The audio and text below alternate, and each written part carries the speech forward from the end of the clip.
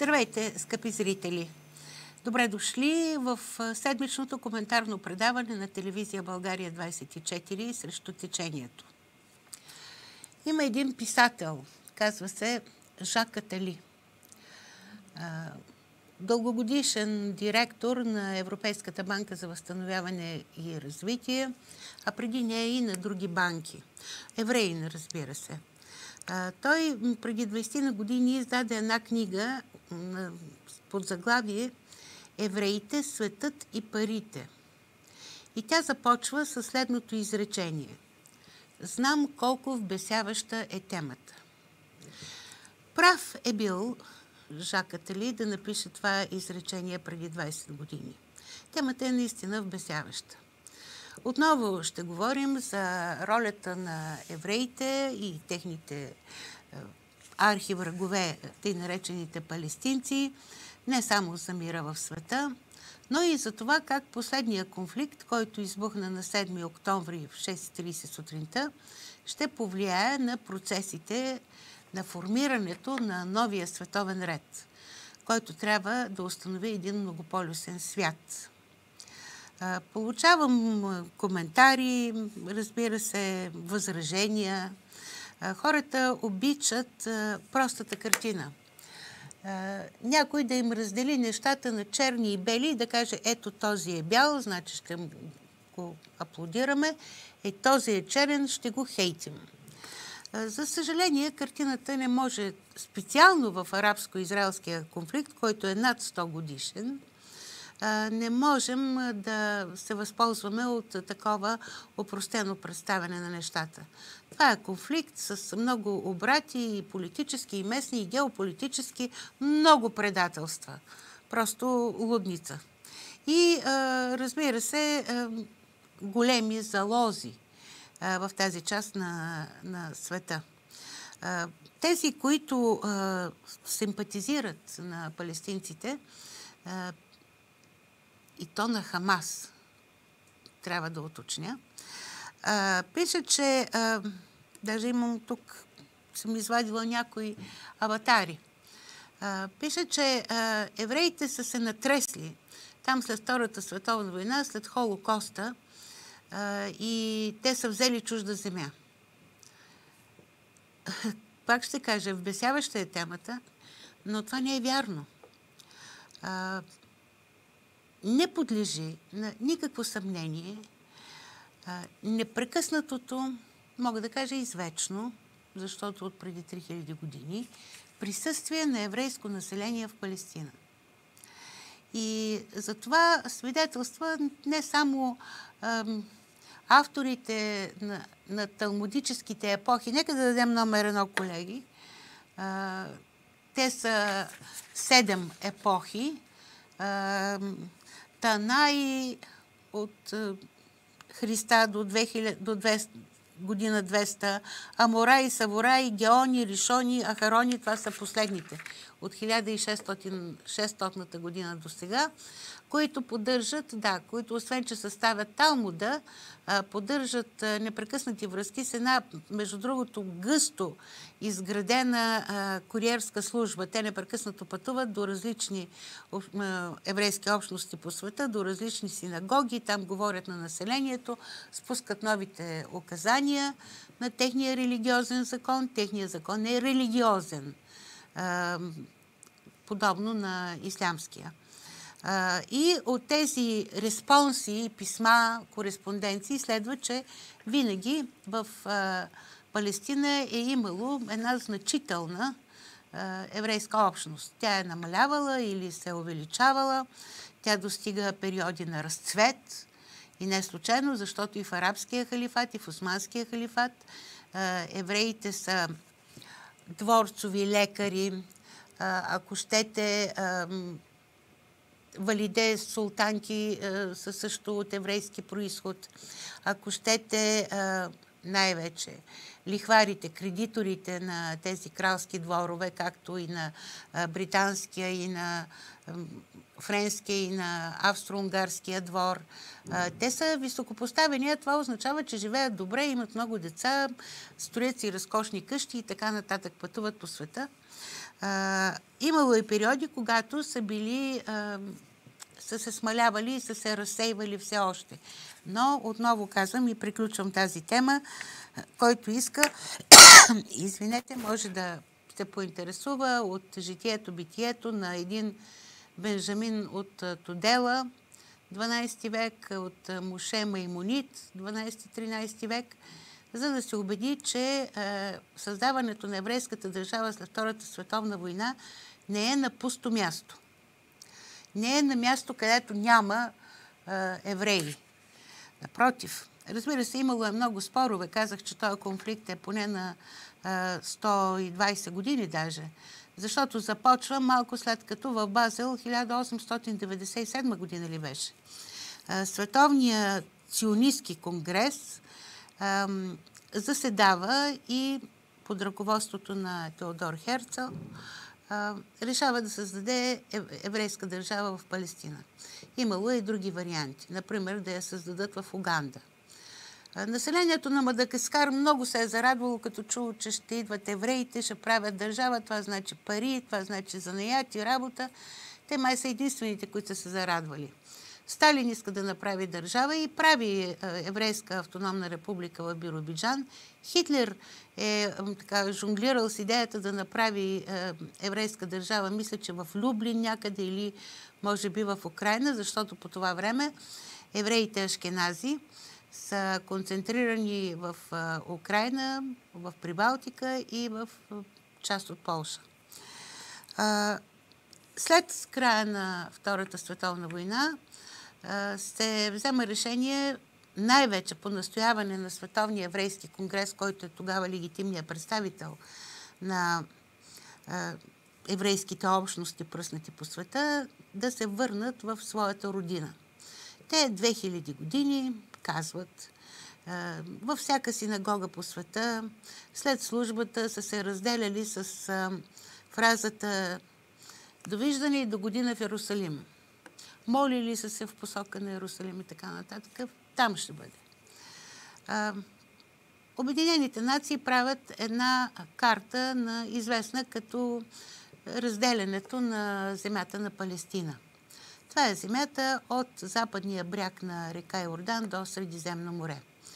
Решавали са въпроса, а какво ще правим с арабското население, което е преобладаващо там, в тази голяма територия, и решават да го съберат на едно место, на част от територията, която ще нарекат държава Палестина. Останалото ще бъде държава Израел. Нека да покажем картината, колеги. Това е един конфликт, който, съжалявам, не може да говориш за него без географски карти. Втори номер, 47 година. А, напълно. Вижте сега. Синьото е Израел. Жълтото, вижте горе на север, има едно парче земя. То по едно тъничко коридорче се свързва с това, което днес наричаме западен бряг на река Йордан, а още малко надолу, още малко, до ивицата Газа, която, както виждате, има формата на бумеранг. Тя върви по Средиземно море, най-южната му част, след това чупи на юг и а, върви по границата с Египет.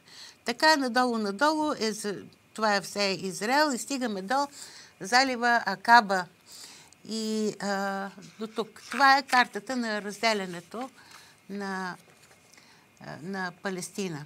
Като, забележете, там имаше едно бяло петно, не знам дали го забелязахте на тази карта.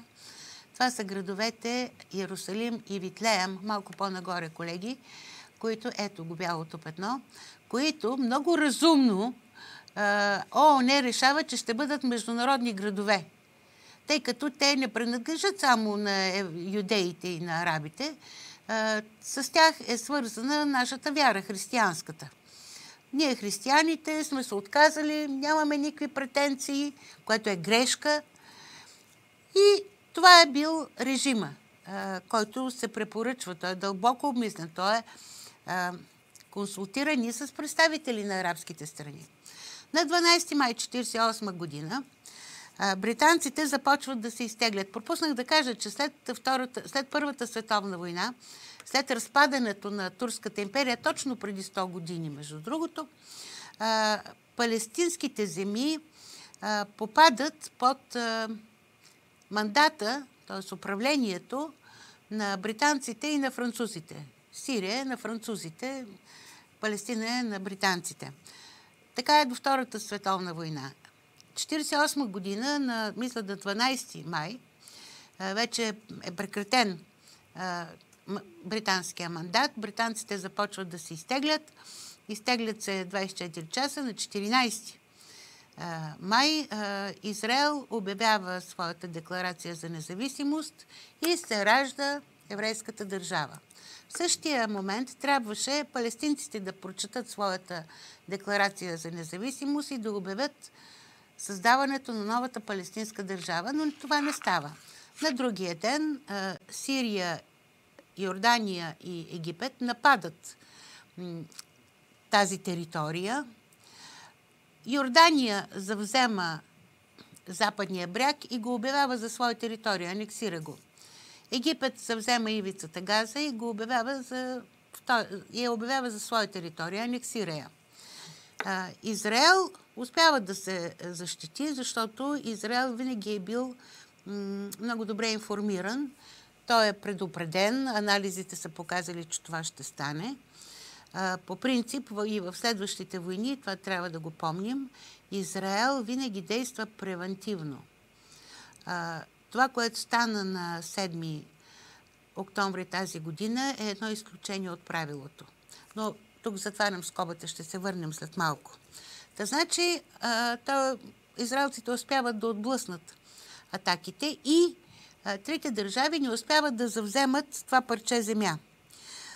Те обясняват на палестинците, че вземайки земите, които ООН е определило за техни, за палестински, няма да ги оставят така наголо, а ще ликвидират държавата Израел и на нейната територия вече ще направят палестинска държава.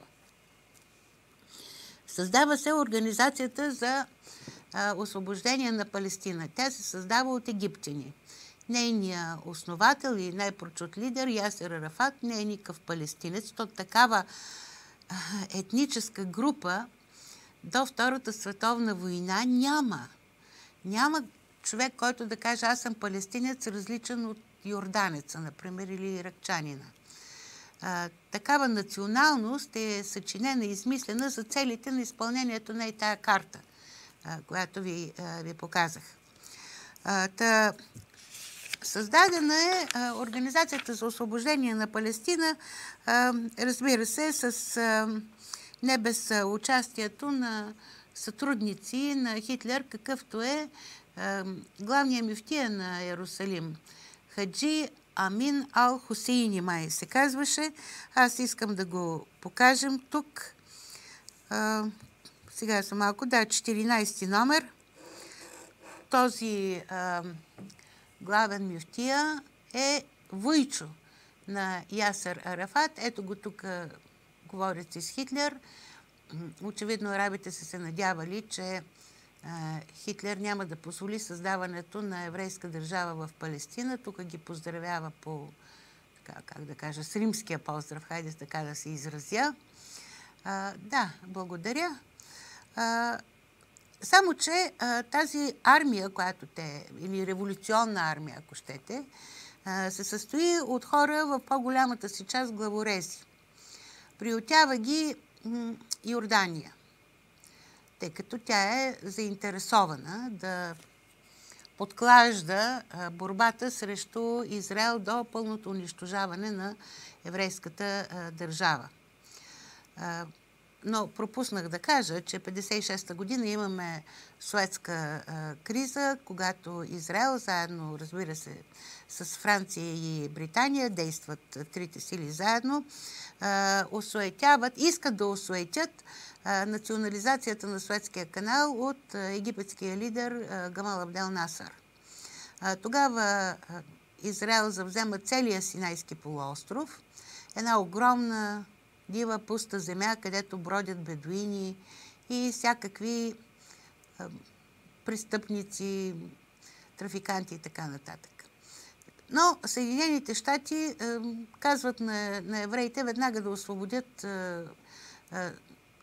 Синай и те го освобождават. Това е първото за вземане на Синай. 1967 година трите държави Сирия, Йордания и Египет отново се готвят за война. Между тях лети кореспонденция, която евреите прихващат.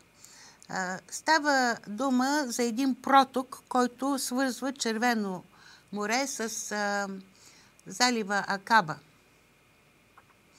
И Ясър Арафат не допуска корабите на Израел, той затваря този проток, не пуска корабите на, на Израел да, да влязат в Червено море или пък от Червено море да стигнат до пристанището Елат чужди кораби.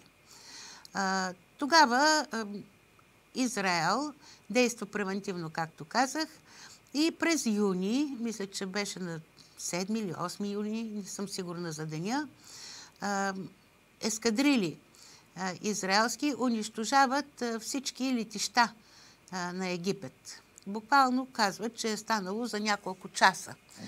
Известна е тази операция под името операция Фокус.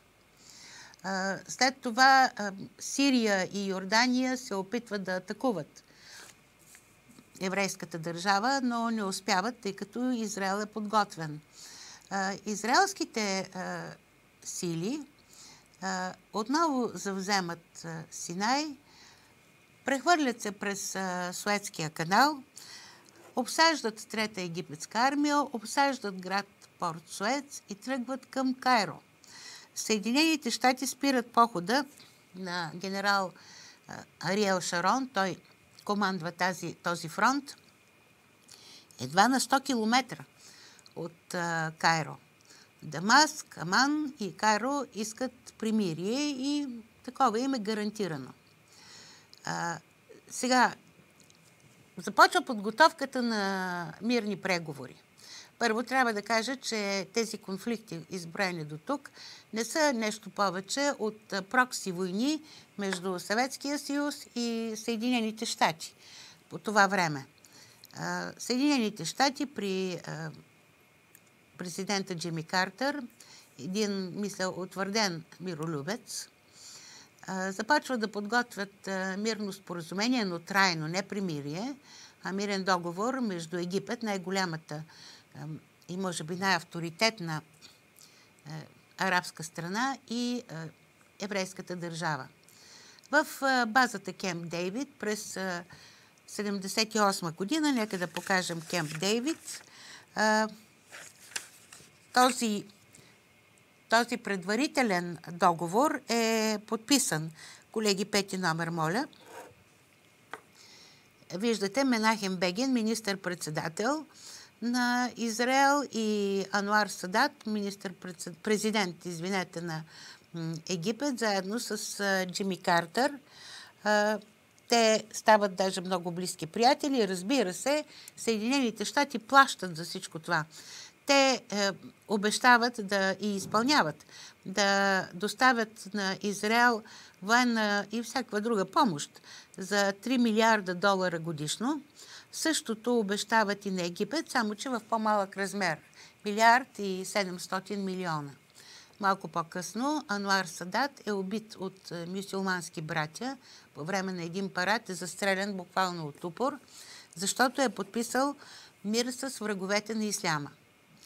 А, знаете, че ислямистите или те хора, които просто много вярват в а, исляма, в Корана, в шарията, непрекъснато цитират думите на пророка Мухамед, който на смъртното си ложе завещал на своите потомци да прогонят от Арабия всякакви немисюлмани и най-вече християните и иудеите. Да загива а, Ануар Садат а, заради подписването на този договор. А, всъщност договорът е подписан в 79 година той предвижда и економическо сътрудничество, което продължава, между другото, до днес.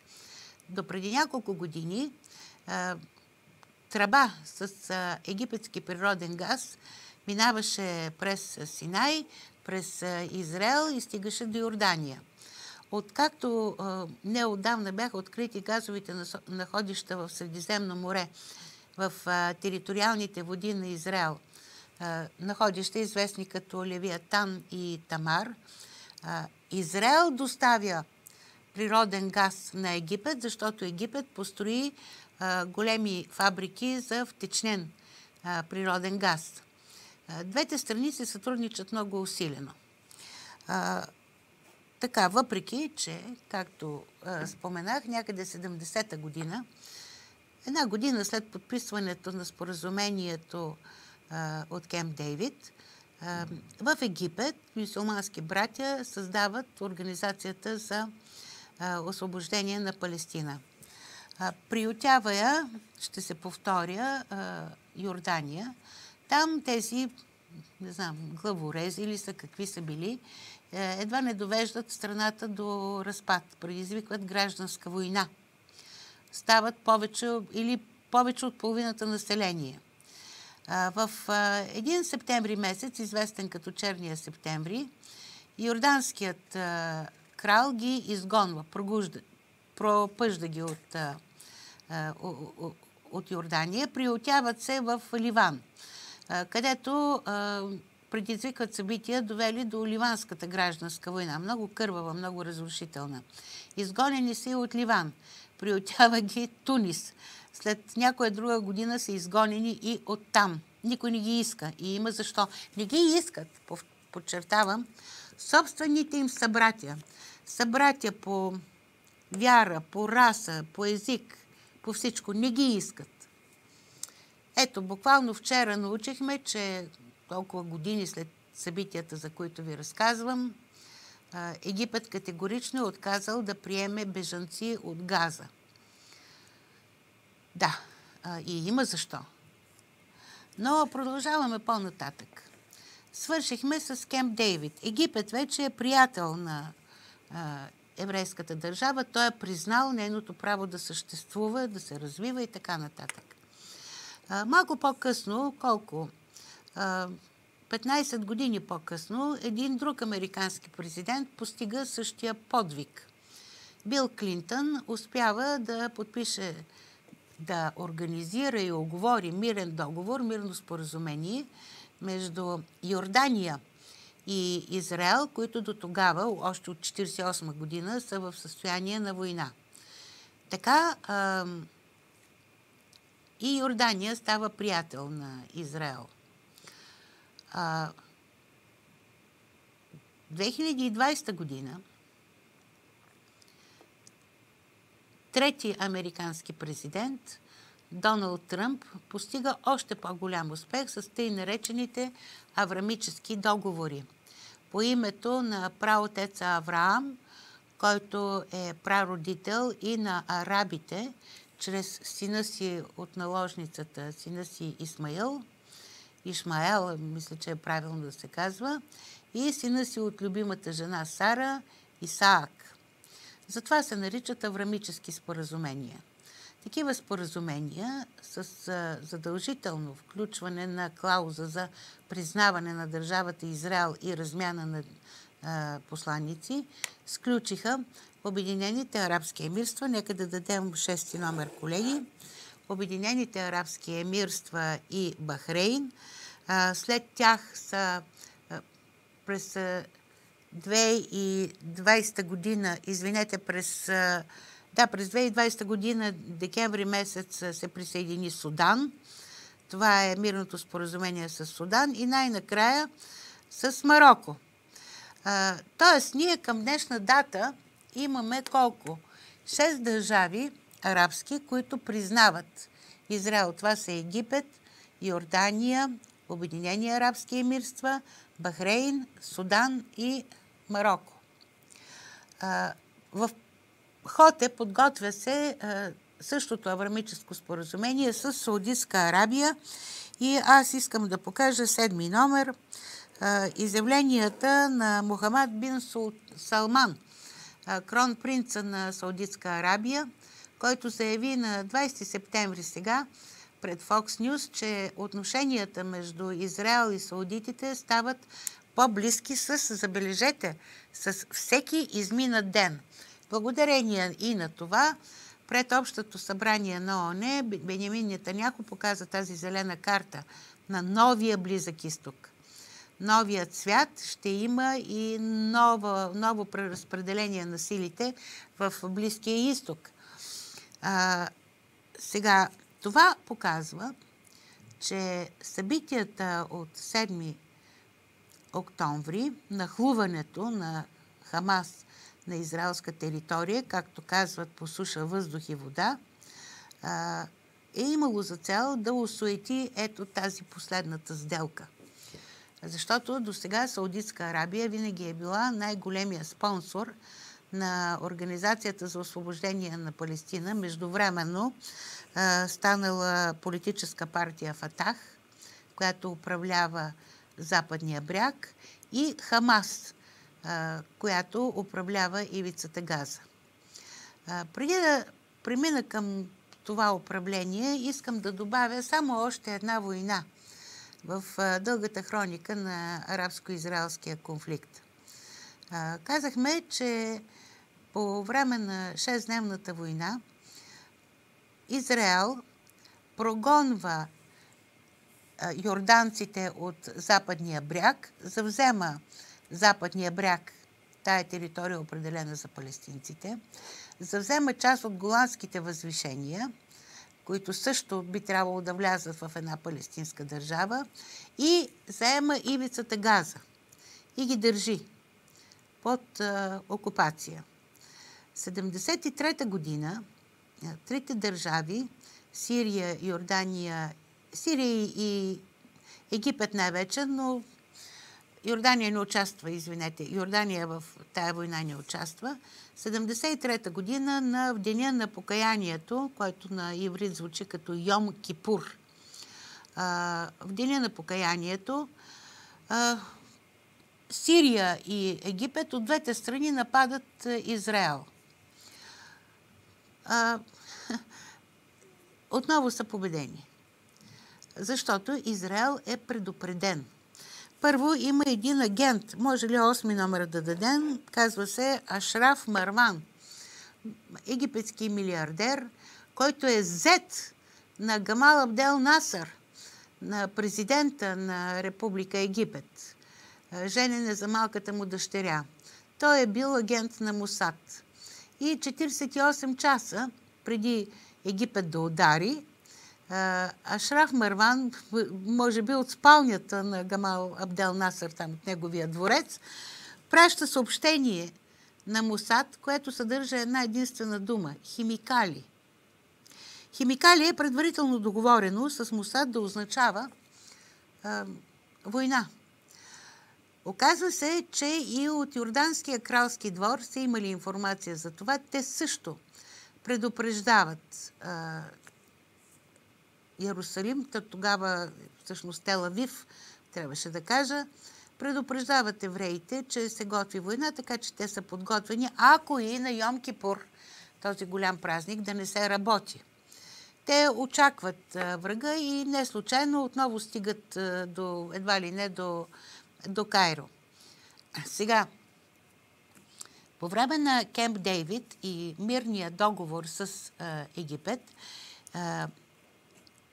Израел се задължава да събори, сам да си събори няколко еврейски селища, изградени а, около Синайския полуостров по брега на Червено море, а, както и шикарния курорт Шармел Шейх. По молба на египтяните, те оставят Шармел Шейх, не го разрушават, подаряват го на египтяните. Но е, селищата, кибуците ги разрушават. Аз искам да дам тази карта, ако я имаме, чакайте да погледна. Картата на Близкия изток след Йом-Кипурската война.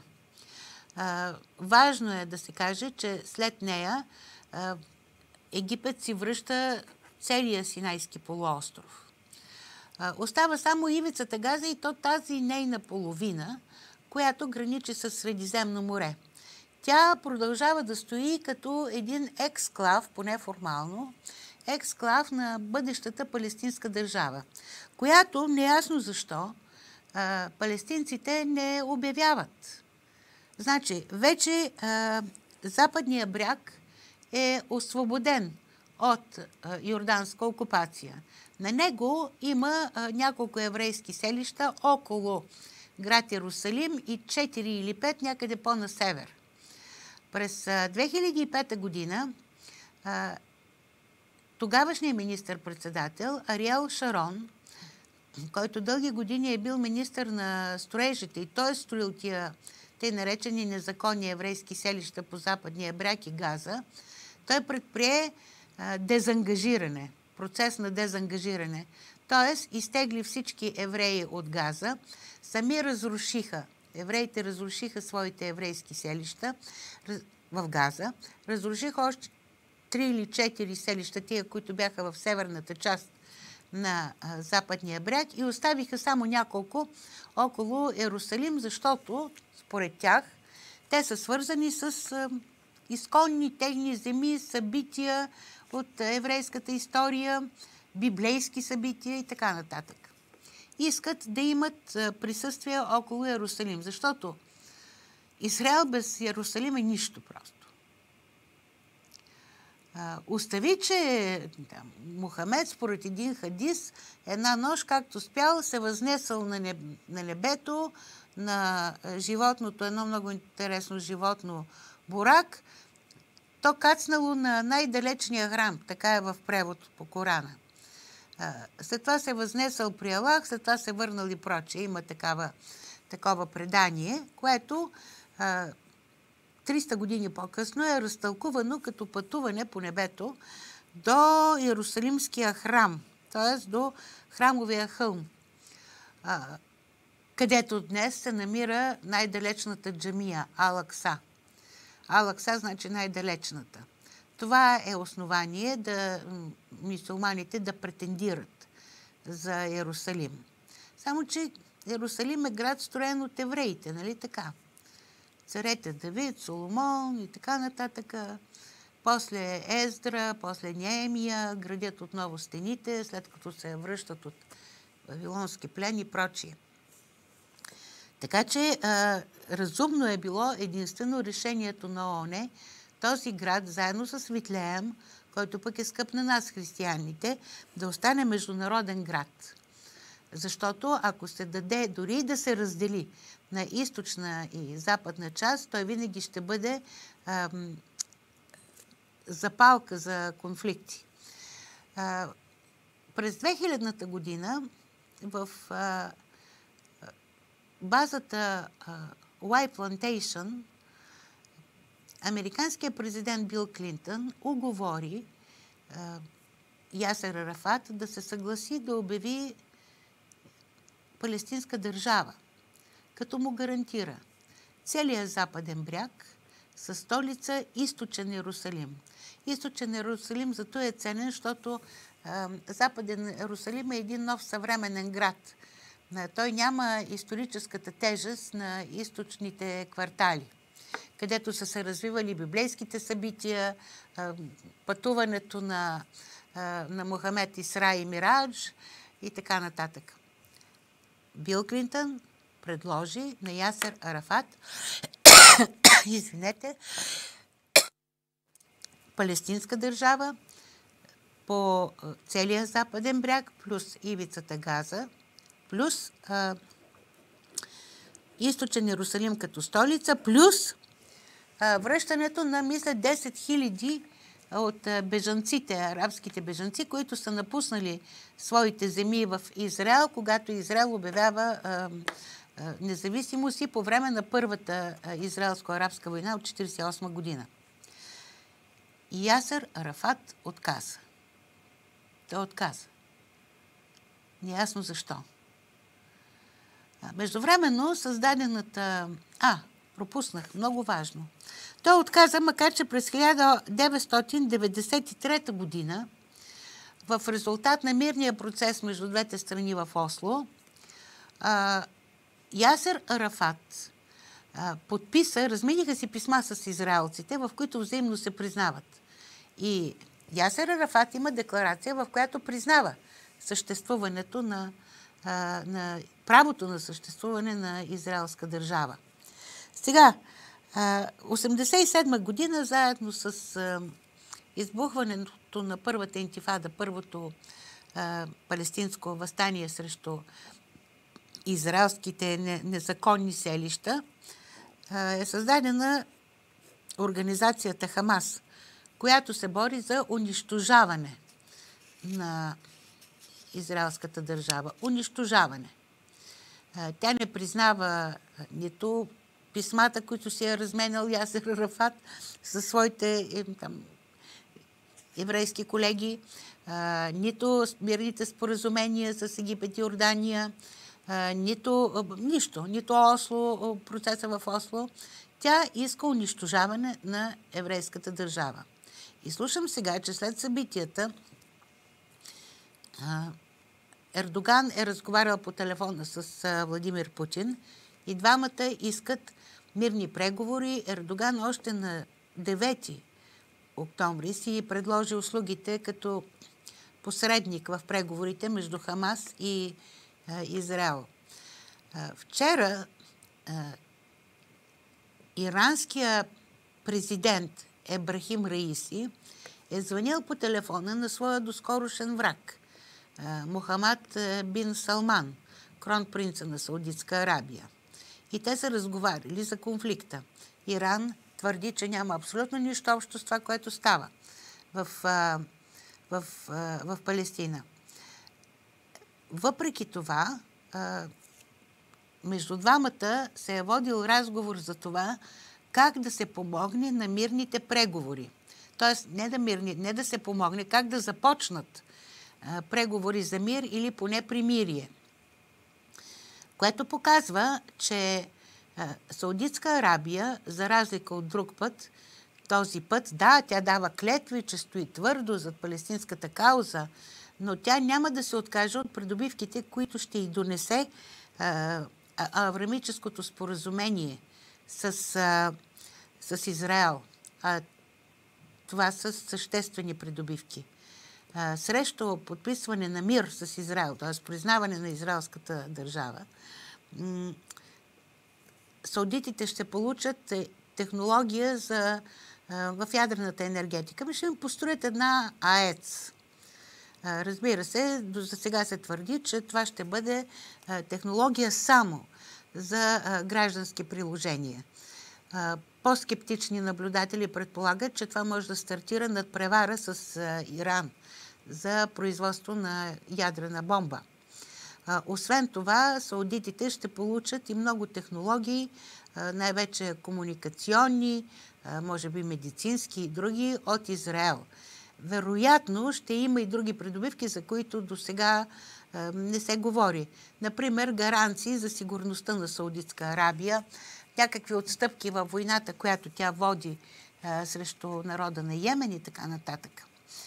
самия факт, че и Ердоган предлага услуг, услугите си на помирител, няма я вече Мави Мармара, флотилията, която щеше да ликвидира блокадата на, на газа, няма го вече този огнен език, на който кълнеше евреите, така нататък, означава, че тези държави, до сега подкрепещи каузата на, на Хамас, на Хамас за ликвидиране на еврейската държава, са променили възгледите си.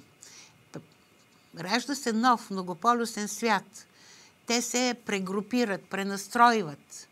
Очевидно в този многополюсен свят място за групировки като Хамас няма да има, като знам колко е голяма диспропорцията между могъщата ядрена а, държава Израел с 500 хилядна армия и групировката Хамас, която е съставена от а, а, не винаги грамотни но иначе много запалени ислямисти, които не знаят друго, освен да пеят Корана.